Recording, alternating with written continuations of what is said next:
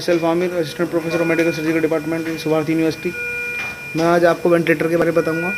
Ventilator start कर ventilator अलग तरीके होते हैं। नॉल केयर ये हमारा अलग फिलिप्स का है। ये जो वेंटिलेटर है फिलिप्स का है। वेंटिलेटर स्टार्ट करने से पहले हमें ऑक्सीजन को देख लेना। है इसमें ऑक्सीजन में सर्किट लगाया जाता है। और यहाँ पर ये ये हमारा क्या है? ये पहले हम सबसे पहले इसको ऑन ऑफ़ लगाते हैं। उसके बाद इसका ऑक्सीजन सर्किट लगाते हैं यहाँ पर। इसे नीचे कर देते हैं।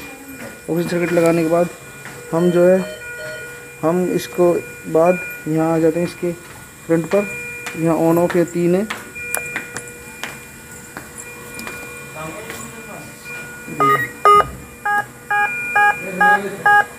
उसके बाद इसमें दो तरह, यदि हमें नया नया पेशेंट लिया आता है, हम न्यू पे करेंगे।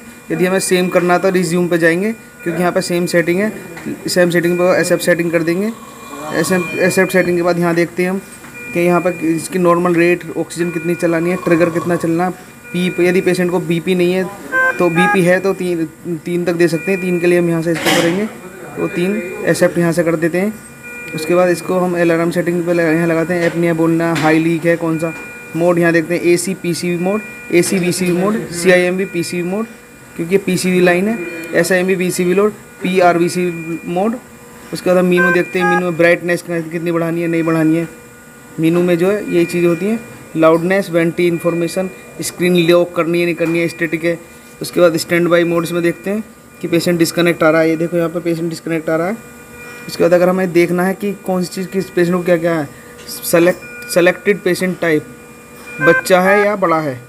उसके बाद सेलेक्टेड पेशेंट सर्किट कौन सा सर्किट है? नेजो है इटो है एक्जेल मिनट है, कितने हैं? पोज का ग्राफ क्या है? वर्टिकल ऑटोसोमल क्या है? उसका डिस्प्ले लूप है। यहाँ से सारी चीज़ें निकल आती हैं कि बैटरी चार्ज है। फिर उसके बाद इसे यहाँ से हम ऑफ़ कर देते हैं। आप देख सकते हैं। यहाँ देखो, ये इसका चालू हो गया।